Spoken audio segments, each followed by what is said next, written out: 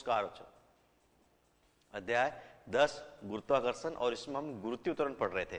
ठीक है, जो हमारा टॉपिक जो चल रहा था, वो था गुरुत्वीय त्वरण।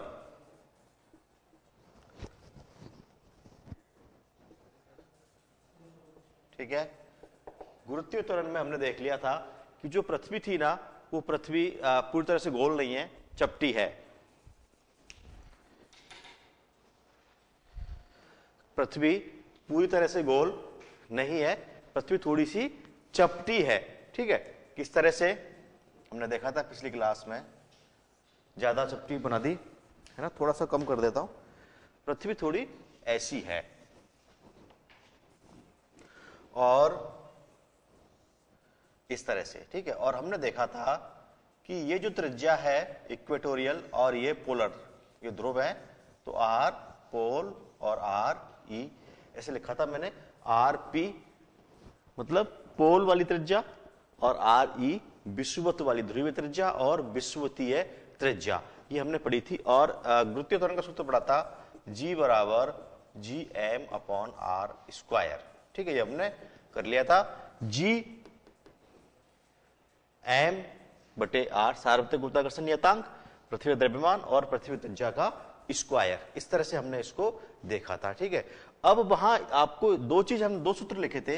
एक तो लिखा था मैंने जी ई e बराबर जी एम तो कॉमन है अपॉन आर ई स्क्वायर और दूसरा फॉर्मूला था जी आर बराबर, ठीक है पोल जी पोलर बराबर g m upon r p square ये दो सूत्र हमने पिछली क्लास में कर लिए थे, और इन दोनों में रिलेशन भी हमने देख लिया था।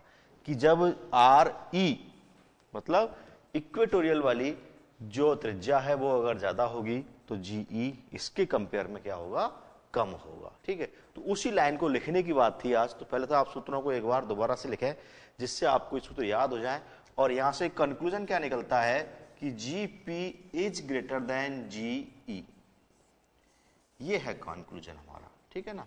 गुरुत्वीय त्वरण पोलर पोल पर, ठीक है? ज़्यादा होगा, बजाय इक्वेटोरियल के, क्योंकि जो हमने यहाँ एक चीज़ और देखी, थोड़ी सी जो आर जो वस्तु का था और उसको हमने नेग्लिजिबल कर लिया था, ठीक है? ये आप कर रहे हैं, फिर इसको लिखते हैं हम। देखिए, यह लिखना क्या है कि पृथ्वी की त्रिज्या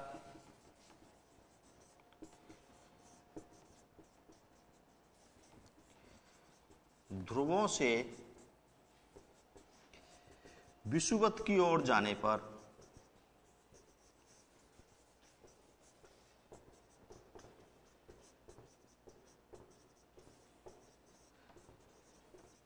बढ़ती है। ध्रुवों से विषुवत की ओर जाने पर बढ़ती है। ठीक है? इसलिए जी का मान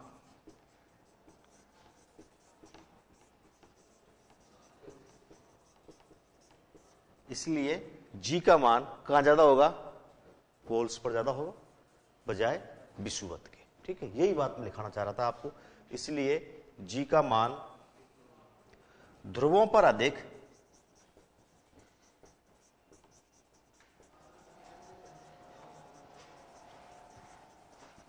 एवं विषुवत पर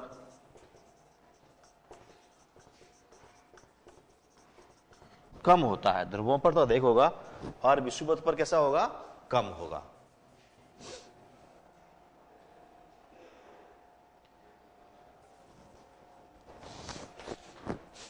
ठीक है।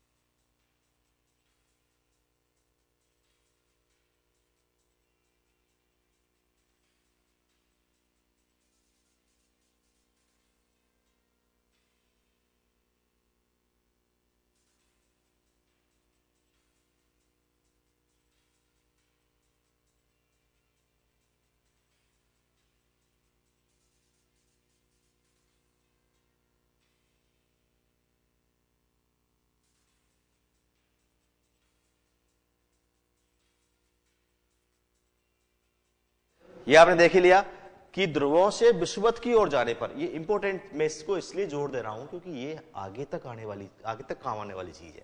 आप कंपटीशन का एग्ज़ाम भी दोगे ना, कोई भी अपने जो भर्ती परीक्षाएँ होती हैं, उस तरह की परीक्षाएँ आप देंगे, वहाँ भी इस तरह के प्रश्न बनते हैं।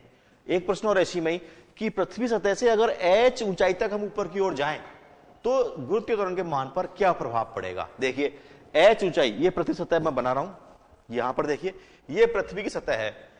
ठीक है, अब इसको तो आप लिख ही लिया इधर समझ लीजिए, पहले बाद में करना है इसको। इधर देखिए पहले, ये पृथ्वी सतह है, अब इस सतह से मैं एच ऊंचाई पर चला गया। मान लो, ये मैंने एच ऊंचाई मान ली। तो गुरुत्वीय त्वरण के मान पर क्या प्रभाव पड़ेगा? देखिए, पहले चित्र पहले समझिए तरीके से। सूत्र क्या है? जी बराबर जी एम बटे आर स्क्वायर अब इस आर क्या हो गई? ये जो आर है ना, ये ये हो जाएगी, एक तो एच और आर पी दोनों जुड़ जाएँगे उसमें। तो R बराबर H प्लस आर ऑफ़ पी हम पोल वाले जा रहे हैं इसलिए। ठीक है? अब देखिए, इन दोनों का इसकी तुलना करेंगे हम। इसकी और इस सूत्र की। तो यहाँ सूत्र क्या बनेगा? जी पी बराबर जी एम बटे आर पी प्लस क्या है? एच अच्छा पहले लिखा था क्या मैंने? मैं पहले लिख देता हूँ। उससे कोई फ़र्क नहीं पड़ेगा।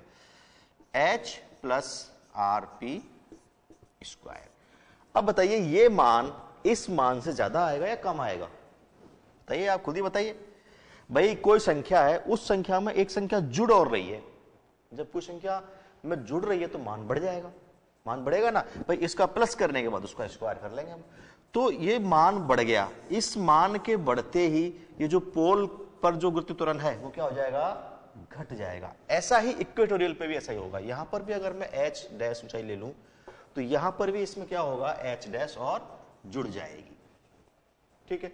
इस, इसीलिए एक ही सिंपल लाइन में समझा, बताना चाहूँ तो पृथ्वी की सतह से एच ऊंचाई पर या किसी भी ऊंचाई पर जाने पर गुरुत्वीय त्वरण का मान घट जाता है गुरुत्व का मान कम हो जाता है। पृथ्वी सतह से एच ऊंचाई तक ऊपर जाने पर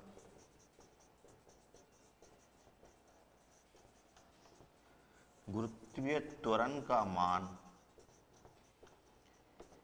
घट जाता है। आपने देख ही लिया किस तरह से घट रहा है, क्योंकि वो बढ़ जाता है नीचे वाली राशि। ठीक है?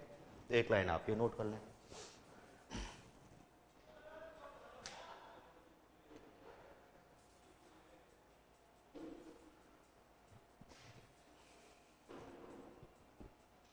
ठीक है अब एक प्रश्न है जिसका कि हमें आंसर तो सबको पता है। आंसर हम सभी जानते हैं कि पृथ्वी सतह पर गुरुत्व त्वरण कितना होता है। और मैं उसको सॉल्व करके यहाँ दिखा रहा हूँ आपको।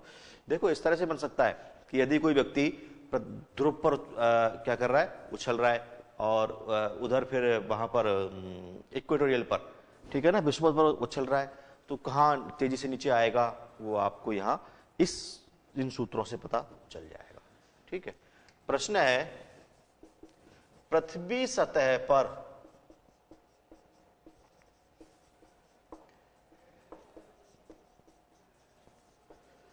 गुरुत्वीय त्वरण का मान ज्ञात करो। सारी आपको वैल्यूज़ यहाँ पर रखनी होंगी। सारी जो मान है वो रख के निकालना पड़ेगा। यहाँ दिया हुआ है आपको, पृथ्वी का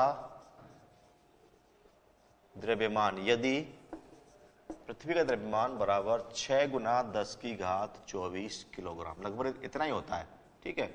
और त्रिज्या किसकी? पृथ्वी की, चौसठ सौ किलोमीटर, ये इतनी होती है, छह हज़ार चार सौ किलोमीटर, और पृथ्वी का द्रव्यमान कितना होता है? छह गुना दस की घात चौबीस किलोग्राम, ठीक है? अब मुझे निकालना है। जी, सतह का। पृथ्वी की सतह का। जी एम बटे आर। सतह पर आर क्या रहेगा?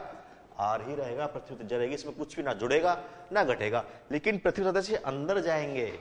वो बात और थोड़ी सी एक एक्स्ट्रा जोड़ देता हूँ मैं। यदि पृथ्वी सतह के हम अंदर गए तो क्या होगा? वो आप खुद इसकी कल्पना करेंगे। यहाँ तक त्रिज्या है आर। ठीक है, अगर मैं एच अंदर चला गया तो जी पर क्या इफ़ेक्ट आएगा? ठीक है, ये आप कल्पना करें और इसका आंसर बताएँ मुझे। जी बराबर जी एम बटे आर स्क्वायर जी सार्वत्रिक गुरुत्वाकर्षण नियतांक मान कितना होता है इसका? 6.67 international power minus eleven kilogram metre square प्रति सेकंड ठीक है?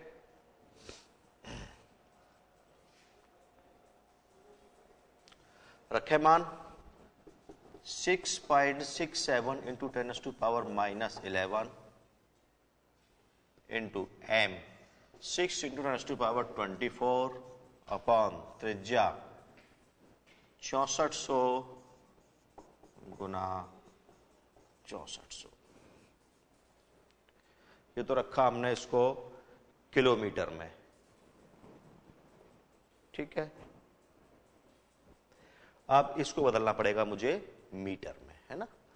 तो एक किलोमीटर में एक हज़ार मीटर तो दस की घात तीन और दस की घात तीन, दोनों जुड़ जाएँगे। क्या हो जाएगा? दस की घात अब ये मीटर में कन्वर्ट हो चुका है, ठीक है?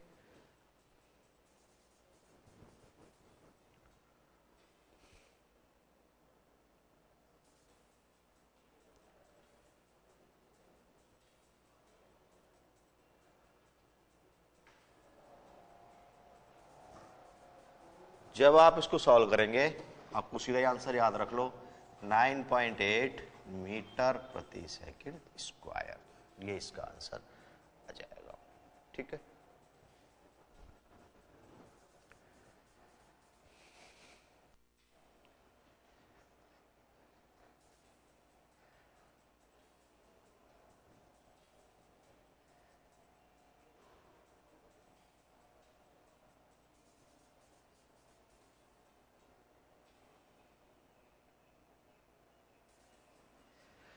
ये पृथ्वी सतह पर गुरुत्वीय त्वरण का मान होता है। मैंने डायरेक्टली लिख दिया है। हमने सॉल्व करने में यहाँ टाइम वेस्ट नहीं किया। आप इसको सॉल्व करेंगे, आपका आंसर यही आएगा। ठीक है? 9.8 मीटर प्रति सेकंड स्क्वायर ये ऐसे क्या देखो चौसठ सौ समझ में नहीं आ रहा। चौसठ सौ किलोमीटर। इसको मैंने लिख दिया। चौसठ सौ गुना एक हज़ार मीटर। चौसठ सौ गुना दस की का तीन मीटर। ये हुआ इसको दो बार लिखा है मैंने तो चौसठ सौ गुना दस की घात तीन गुना चौसठ सौ गुना दस की घात तीन, स्क्वायर है ना आर। इसलिए जब इसको लिखेंगे तो चौसठ सौ गुना चौसठ सौ गुना दस की घात तीन और तीन, छह, ये लिखा है मैंने। चौसठ सौ गुना चौसठ सौ दस की घात, दस की घात छ ठीक है? कर ले आप इसको जल्दी से।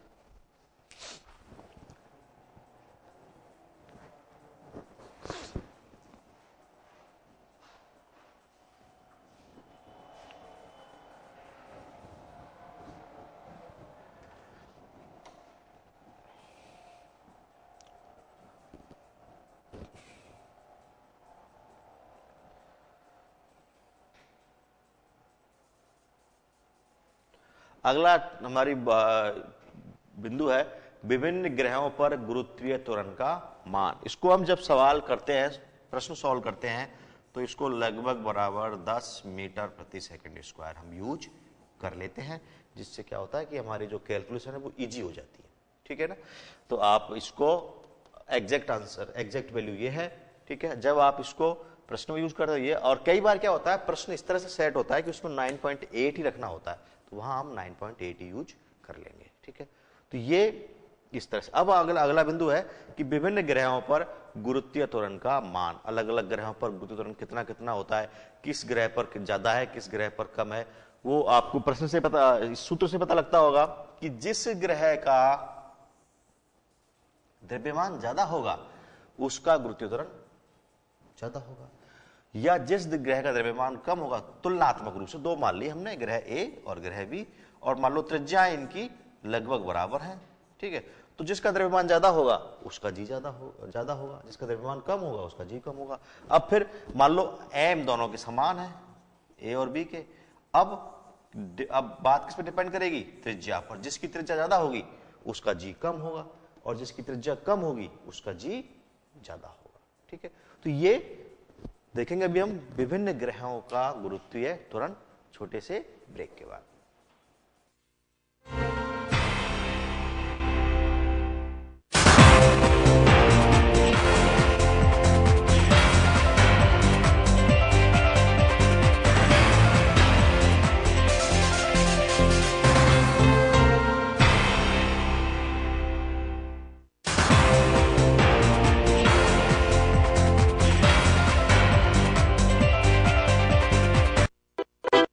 जन टीवी फ्री चैनल है। अगर आप जन टीवी नहीं देख पा रहे हैं तो आज ही अपने केबल ऑपरेटर या डीटीएच ऑपरेटर से संपर्क करें। जन टीवी एक फ्री चैनल है। अगर आप जन टीवी नहीं देख पा रहे हैं तो आज ही अपने केबल ऑपरेटर या डीटीएच ऑपरेटर से संपर्क करें। जन टीवी एक फ्री चैनल है। अगर आप जन टीवी नहीं देख पा रहे हैं तो आज ही अपने केबल ऑपरेटर या डीटीएच ऑपरेटर से संपर्क करें। जन टीवी एक फ्री चैनल है। अगर आप जन टीवी नहीं देख पा रहे हैं तो आज ही अपने केबल ऑपरेटर या डीटीएच ऑपरेटर से संपर्क करें।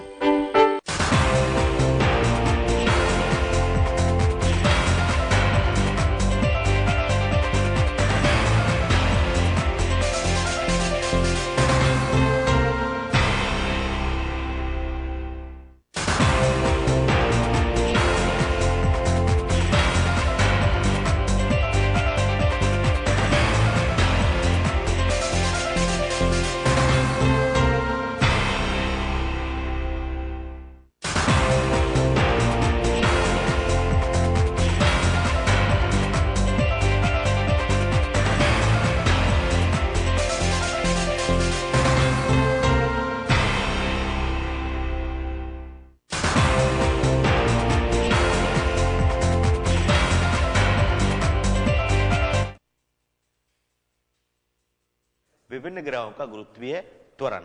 ठीक है, देखिए। यहाँ टेबल बना दी मैंने। थ्री पॉइंट सेवन बुद्ध का मीटर प्रति सेकंड स्क्वायर हमें रटना किसी का नहीं है। ठीक है, हमें एक आइडिया पता होना चाहिए, सबसे ज़्यादा किसका है और सबसे कम किसका। यहाँ पर दोनों आपको दिखाई दे रहे हैं। सबसे कम आपको किसका दिखाई दे रहा है? प्लूटो का। कितना है? पॉइंट सेवन मीटर प्रति सेकेंड स्क्वायर ठीक है, और सबसे ज़्यादा आपको दिखाई दे रहा है बृहस्पति का, तेईस पॉइंट एक मीटर प्रति सेकेंड स्क्वायर। द्रव्यमान बहुत ज़्यादा है, बृहस्पति का।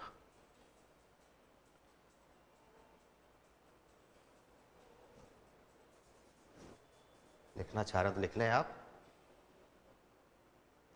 ये बात मैं आपको पहले बता चुका हूँ कि G बराबर जी एम बटे आर स्क्वायर यहाँ से अगर देखा जाए तो G is directly proportional to m. मतलब उसके द्रव्यमान के सीधे समानुपाती और G is proportional to one upon r square त्रिज्या के स्क्वायर के व्युत्क्रमानुपाती इसका मतलब यहाँ से क्या हुआ? यदि द्रव्यमान बढ़ेगा तो जी का मान बढ़ेगा। यहाँ से देखो, अगर m, ये ये बढ़ने का चिन्ह है, ठीक है तो g बढ़ेगा।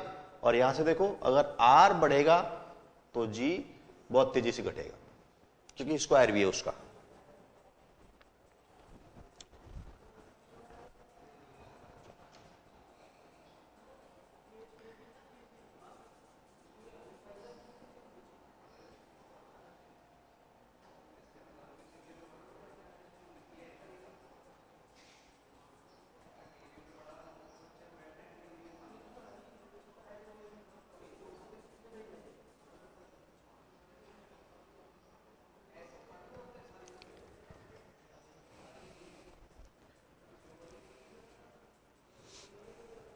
अब हम बात करते हैं चंद्रमा का गुरुत्वीय त्वरण। उसमें जो द्रव्यमान है। चंद्रमा का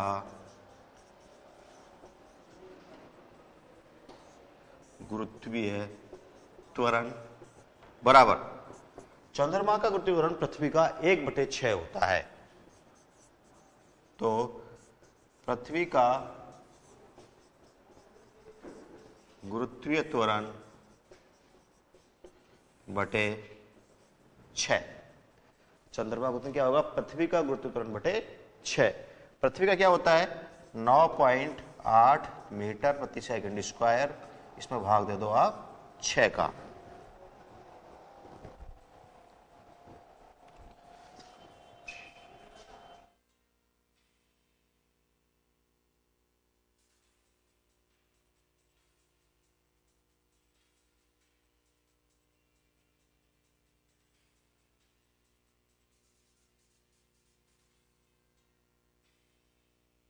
पृथ्वी का।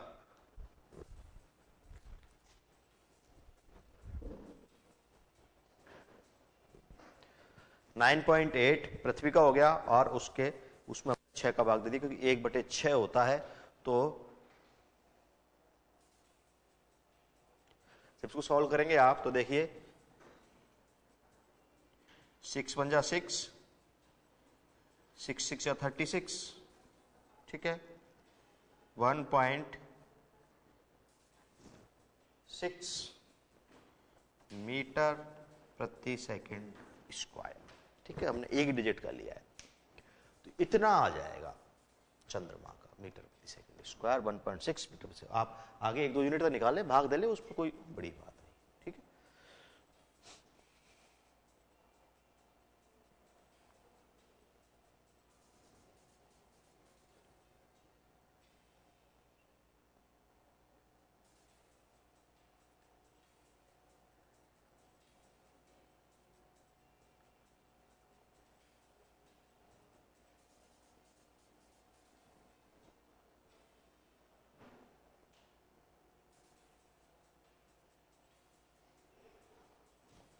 अब हमने यहाँ सूत्र जब देखा है तो यहाँ देखिए यह गुरुत्व त्वरण है।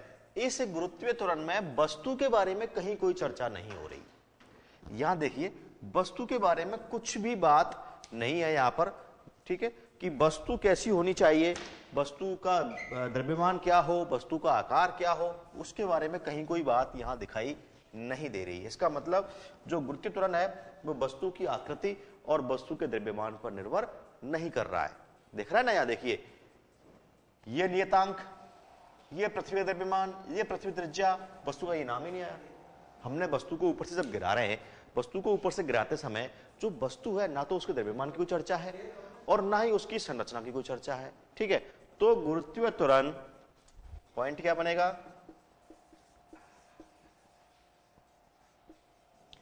गुरुत्वीय त्वरण वस्तु के वस्तु की आकृति एवं उसके द्रव्यमान पर निर्भर नहीं करता। वस्तु की आकृति एवं उसके द्रव्यमान पर निर्भर नहीं करता। इसका मतलब क्या हुआ?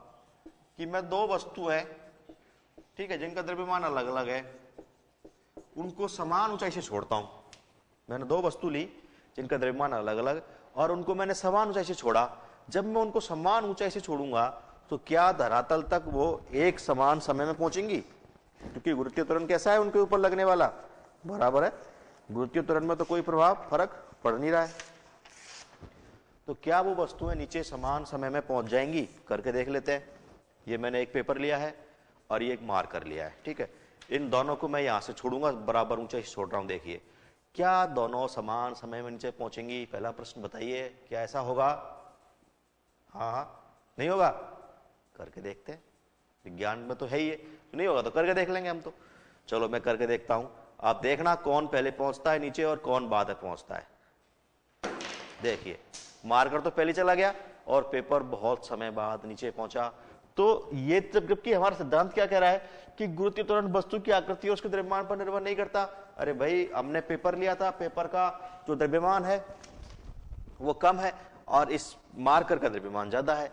ठीक है, ये पहली बात। दूसरी बात, इसका आकृति देखिए, ये इतना बड़ा, इसका क्षेत्रफल ज़्यादा है, जबकि ये कम ही आकृति है इसकी। इसका जो इसका क्षेत्रफल है वो कम है, ये कम जगह घेर रहा है। फिर भी ये पहले नीचे गया, ये बाद में नीचे पहुँचा। क्यों? ऐसा क्यों? ऐसा क्यों हुआ, बताइए। इसका कारण बताइए आप। इसका कारण, बिल्कुल सही बताया देखो, इसका कारण है वायु का घर्षण, जो हम पिछले चैप्टर में पढ़ के आए थे। क्या था? वायु का घर्षण। भाई, अगर इसी प्रयोग को हम निर्वात में करें, एक निर्वात की नली ले लू मैं मैं एक निर्वात की नली बना देता हूँ, और उस निर्वात की नली में अगर मैं पेपर ठीक है, इस निर्वात की नली बनाई मैंने इस निर्वात की नली मैंने एक ये पेपर लिया, ठीक है, और यहाँ एक ये मार्कर ले लिया, ठीक है। जब मैं दोनों को छोड़ूँगा यहाँ से, दोनों की ऊंचाई मैंने समान रखी, ठीक है, और यहाँ पर इसको बंद कर दिया गया। अब और इसमें कर दिया हमने निर्वात। जब इनको यहाँ से छोड़ा जाएगा तो ये इस धरातल पर समान समय में पहुँचेंगे। और दोनों साथ साथ चलेंगे, क्योंकि यहाँ पर घर्षण नहीं है। यहाँ घर्षण नहीं होगा। वायु नहीं है तो इसलिए घर्षण नहीं होगा। तो वो जो अलग अलग टाइम नीचे पहुँचे ना, उसका कारण क्या था? वायु का घर्षण। ठीक है? वायु के घर्षण के कारण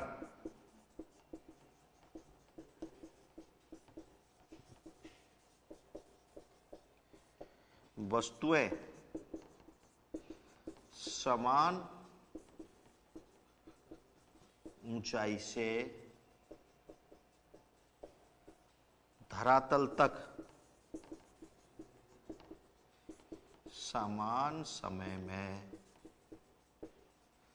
नहीं पहुँचती। ठीक है?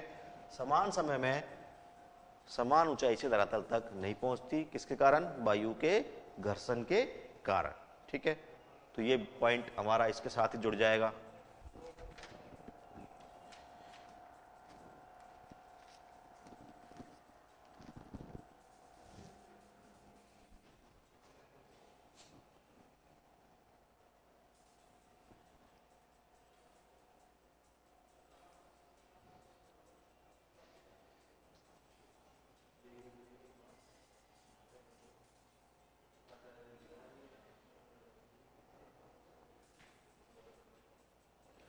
अब हम गति की समीकरण लिखेंगे जो आ, मैंने उस टाइम भी आपको बता दी थी।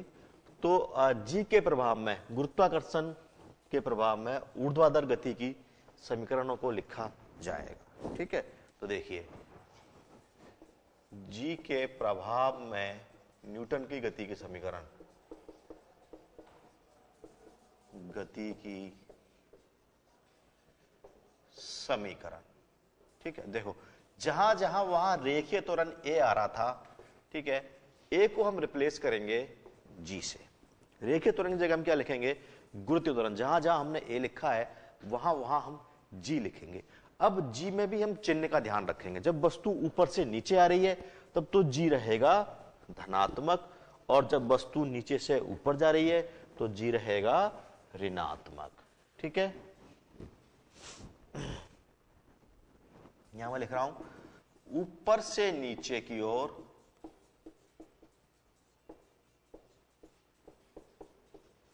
जी हम लिखेंगे धनात्मक। ऊपर से नीचे की ओर, ठीक है? और नीचे से ऊपर की ओर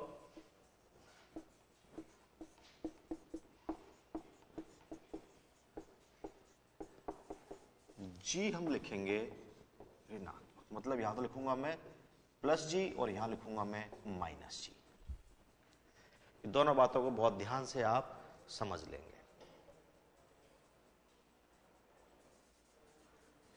अब स्थिति एक, केस वन, पिंड ऊपर से नीचे स्वतंत्रता पूर्वक गिरने पर, ठीक है? गति की पहली समीकरण। पहली समीकरण क्या होती है? V बराबर यू प्लस एटी वी बराबर यू प्लस एटी तो यहाँ क्या बन जाएगी?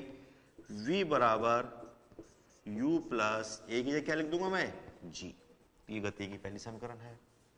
दूसरी समीकरण एस बराबर यू टी प्लस एक बटे दो एटी स्क्वायर क्या बन जाएगी? लिखिए जल्दी से। एस बराबर यू टी प्लस एक बटे दो जी टी स्क्वायर ये लो एक ही जगह जी लिखना है। चिन्ह यहाँ से पता लगा लेना। तो नीचे जा रही है तो सब जगह प्लस प्लस प्लस ठीक है? तीसरी समीकरण, v स्क्वायर बराबर u square plus two g s ये गति की तीसरी समीकरण ये तो ऊपर से नीचे स्वतंत्रता पूर्वक गिरने पर। ठीक है?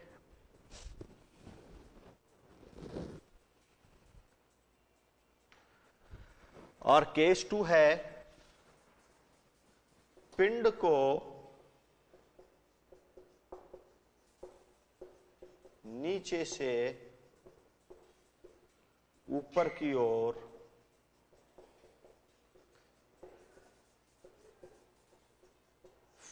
फेंकने पर। अब हमने पिंड को नीचे से ऊपर फेंका है तो देखो क्या होगा। V बराबर u minus G T number एक।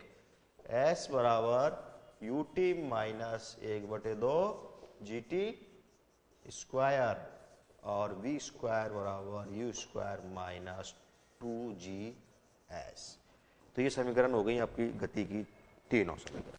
दोनों रूप में।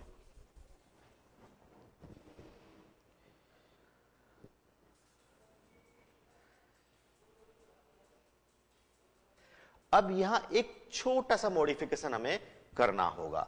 ये जो एस है ना, ये है रेखीय दूरी। अब इसको ऊर्ध्वाधर दूरी के लिए हम लिखते हैं एच के रूप में, ठीक है?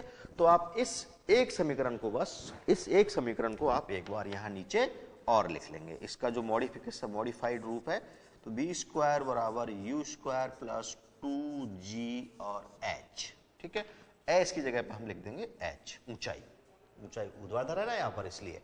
और ऐसा ही इस तरह लिखेंगे तो वी स्क्वायर बराबर u square minus two g h तो यहाँ पर भी हमने इसका एक छोटा सा मॉडिफिकेशन किया है।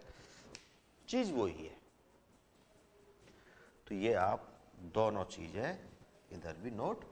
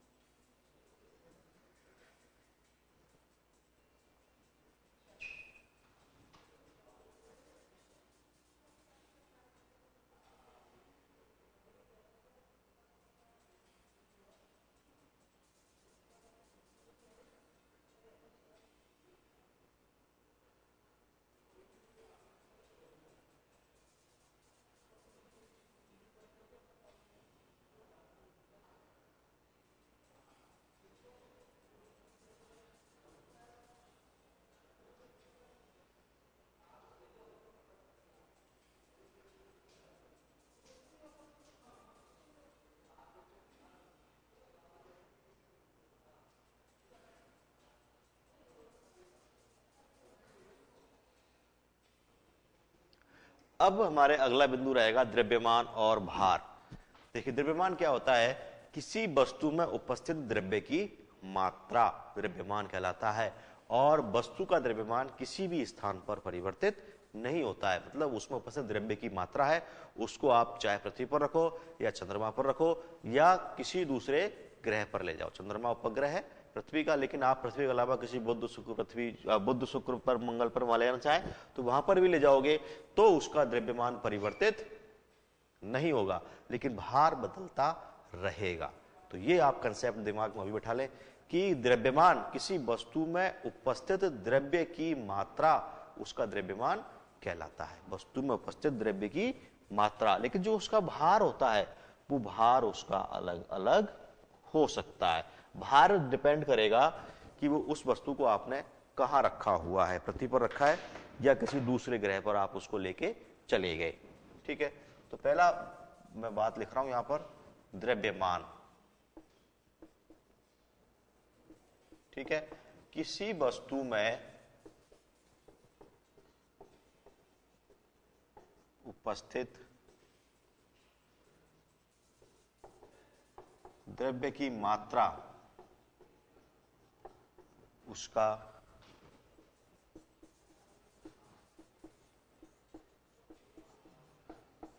द्रव्यमान होता है। ठीक है? द्रव्य की मात्रा।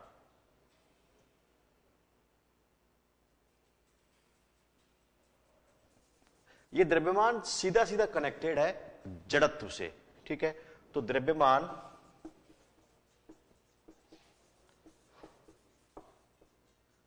जड़त्व से संबंधित है।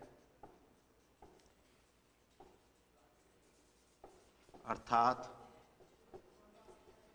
यदि वस्तु का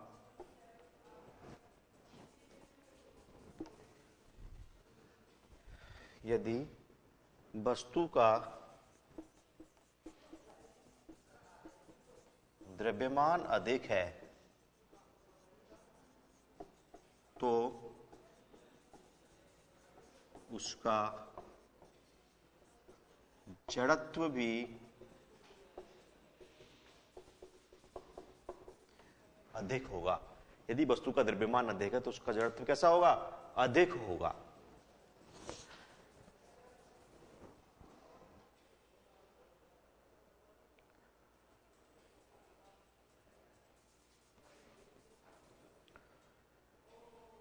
ये तो रही द्रव्यमान की बात। अब आता है भार। भार क्या है? लिख लें आप। किसी वस्तु किसी वस्तु में उपस्थित द्रव्य की मात्रा, किसी वस्तु में उपस्थित द्रव्य की मात्रा, उसका द्रव्यमान होता है। लेकिन जो भार है ना, वो भार होता है बल। ये हम कल करेंगे, भार आज नहीं करेंगे। भार होता है बल। वह बल है जिससे पृथ्वी वस्तु को अपनी ओर खींच रही है। वो उसका भार होता है, ठीक है? तो भार अगली क्लास में करेंगे और चैप्टर को आगे बढ़ाएँगे। अब द्रव्यमान तक हमने कर लिया, लेकिन अगली क्लासेस में इसको और आगे बढ़ाएँगे। तब तक नमस्कार।